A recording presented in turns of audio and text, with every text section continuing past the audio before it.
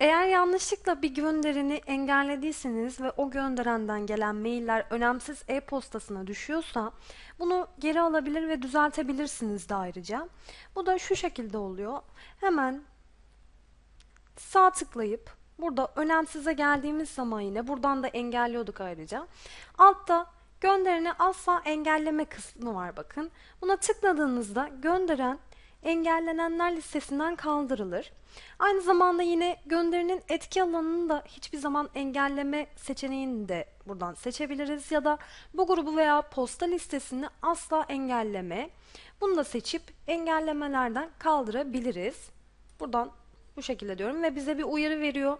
Seçili iletinin gönderini güvenilir gönderenler listenize eklendi. Yine bir daha görmek istemiyorsak bu uyarıyı, bu iletiyi bir daha göstermeyi tıklayıp kapatıyoruz. Tamam diyelim. Yani bu şekilde yapabildiğimiz gibi önemsiz e-postasında iki tane mailimiz var bakın. Bunu geliyorum ve burada yine bu maile tıklıyorum sağ ve önemsize geliyorum. Aynı seçenekler burada da var. İstersek gelenden yapabiliriz ya da kullanıcılar gönderenden ya da önemsiz e-postaya gelip buradan gönderini asla engelleme, gönderinin etki alanını engelleme veya bu grubu veya posta listesini asla engelleme seçeneğini seçebiliriz. Ve burada bu önemsiz e-postadaki maillerden gelip yine sağ tıkladığınızda burada önemsiz posta değil derseniz der ki bu ileti yeniden gelen kutusuna taşınacak ve bu mail adresinden gelen e-postaları her zaman güven. Yani bu tiki kaldırabilirsiniz, onaylayabilirsiniz.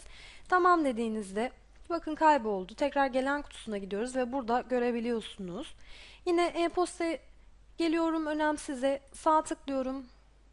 Aynı şekilde önemsiz posta değil diyorum. Aynı uyarıyı alıyorum. Tamam diyorum. Gelen kutusundayız. Tekrar önemsiz e-posta ayarlarına girelim. Yukarıdan önemsiz e-posta seçenekleri ve burada engellenenlere bakıyoruz. Görüyorsunuz. Kaldır diyoruz. Bu şekilde engellenenlerden kaldırmış oluyoruz. Kaldır diyoruz ve kayboldu. Güvenilirlere geldiğinizde bak iki adresin güvenilir olduğunu görüyorsunuz ve bunun iki hesaptan gelen mailler mutlaka gelen kutusuna gelecektir. Engellediğiniz zaman ise önemsiz e-postaya düşecektir.